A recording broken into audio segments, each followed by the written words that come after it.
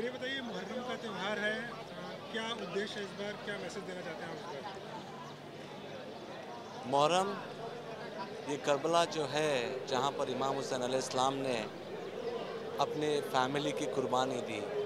और ये कुर्बानी पूरी इंसानियत के लिए एक संदेश और मैसेज था, जहाँ पर इमाम हुसैन ने बताना चाहते थे कि he always tried for injustice and equality दहशतगर्द आज की समस्या नहीं है। ये दहशतगर्द की समस्या उस ज़माने में भी थी और आज भी है। लेकिन उन्होंने अपने फैमिली की, अपने औलाद की कुर्बानी देकर ये साबित किया कि न उस ज़माने में दहशतगर्द को कोई जगह है, न इस ज़माने में दहशतगर्द की कोई जगह है। 1400 साल से ये सबसे अहम मैसेज इमाम हुसैन ने अपने परिवार की कुर्बानी देकर इस दुनिया को संदेश दिया इक्वालिटी इनजस्टिस के खिलाफ की आवाज़ और दहशत गर्दों के खिलाफ की आवाज़। ये जुलूस का मकसद और मुहर्रम का मकसद यही है। सर ये बताइए कि इस बार मुहर्रम छब्बीस ग्यारह के लगभग आसपास में आ रहा है। कई लोग शहीद हुए थे छब्बीस ग्यारह में। कसाब को ही जल्दी फांसी दी गई है। तो क्या इस बार का मुहर्रम जो है डेडिकेटेड है उन लोगों के लिए जिन लोगों ने अपनी जान गंवा दी छब्बीस ग्यारह में? डेफिनेटली इमाम हुसैन इस्लाम ने दहशतगर्द, जैसे हमने कहा, उस ज़माने की जो हुकूमत थी, वो दहशतगर्द हुकूमत थी। और दहशतगर्दों के लिए एक सिविलाइज सोसाइटी में कोई जगह नहीं है। दहशतगर्द को हम उस ज़माने में भी कंडेम करते थे, आज भी कंडेम करते हैं। भारत सरकार ने संविधान के मातहत अजमल कसाब को फांसी देकर ये भारत सरकार और दुनिया में मैसेज दिया हुआ है कि ये एक ट्रिब्यूट जो लोगों ने अपनी जान गंवाई है, उसके लिए एक ट्रिब्यूट है।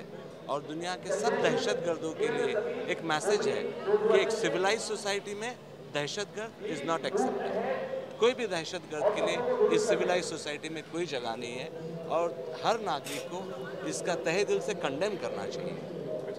एक आखिरी जो तमाम आपके मुस्लिम समुदाय के लोग हैं मीडिया के ज़रिए आप क्या मैसेज देना चाहेंगे मीडिया के सामने मैं यही कहना चाहूँगा कि करबला की कुर्बानी सिर्फ़ एक परिवार की कुर्बानी नहीं थी, पूरी इंसानियत, पूरी मैनकाइंड के लिए एक मैसेज था।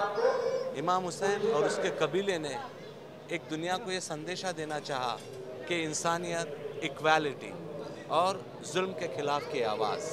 और कुर्बानी देकर उन्होंने ये साबित किया और वो कुर्बानी, वो मैसेज 1400 साल से आज तक कामयाब और चल रहा है। मेरा नाम डॉक्टर आसिफ बुचानी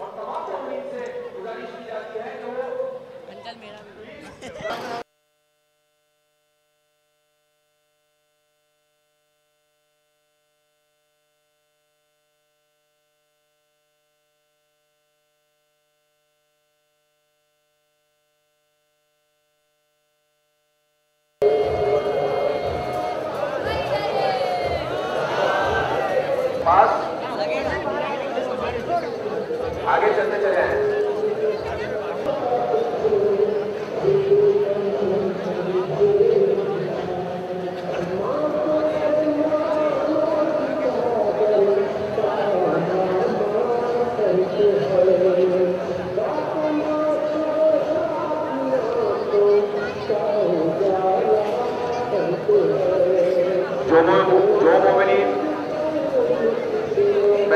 जितना जल्दी हो सके आगे आ जाए सफों को दुरुस्त कर लें।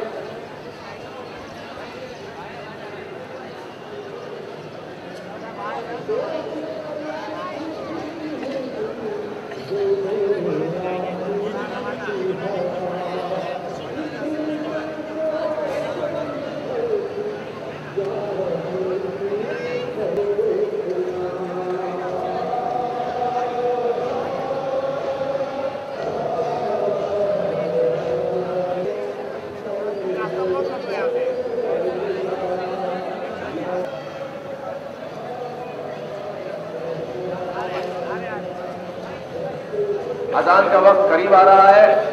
मोमिन पाँच। जो मोमिन आगे के तरफ़ है, इमाम बाड़े के तरफ़ है राइट और लेफ़्ट साइड पर, दोनों साइड पर। वज़ू खाने का एहतमाम किया गया है। स्पेंसलेन के बीच में राइट और लेफ़्ट साइड पर जहाँ पर फोकस है।